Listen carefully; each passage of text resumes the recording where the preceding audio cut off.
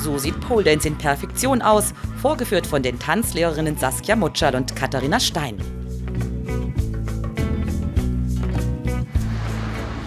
Und sie möchte das vertikale Tanzen lernen, die 41 Jahre alte Marita Dreiske.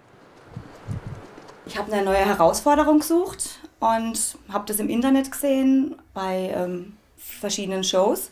Und es hat mir einfach gefallen. Und weil ich auch akrobatisch was machen wollte, habe ich gedacht, ich probiere es aus.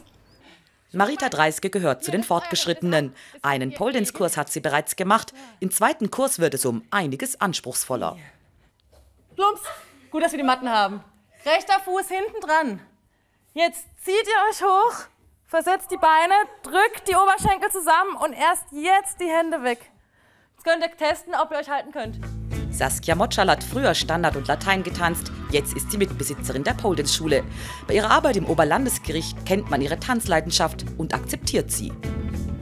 Die ganze Pole-Welt allgemein macht viel Imagewerbung dafür, dass es wegkommt von diesem Klischee und von diesen Vorurteilen. Man hört es natürlich viel, aber sobald die das sehen oder auch mal selber probieren, merken sie, wie anstrengend es ist, dass es wirklich ein Sport ist und dann haben sie sofort den Respekt. Kraft braucht der Pole Dancer und eine gut befestigte Stange, denn sonst drohen üble Missgeschicke, wie zahlreiche Internetfilme belegen. Das kann in einer Pole Dance Schule natürlich nicht passieren. Katharina Stein unterrichtet die Anfängerinnen. Vom Fußball ist sie zum Pole Dance gewechselt. Die Tanzschule in Emmendingen war ein lang gehegter Traum von ihr. Also man braucht überhaupt keine Vorkenntnisse. Ähm, das lernt man alles. Wenn man jetzt nicht so die Sportskanone ist, dann macht man halt viel Tänzerisches und da lernt man ja auch seinen Körper zu kontrollieren und seinen Körper auch zu mögen. Nach nur wenigen Stunden können auch die Anfängerinnen schon erste Tanzschritte an der Stange. Ein ungewöhnlicher Sport, der immer noch mit vielen Vorurteilen zu kämpfen hat.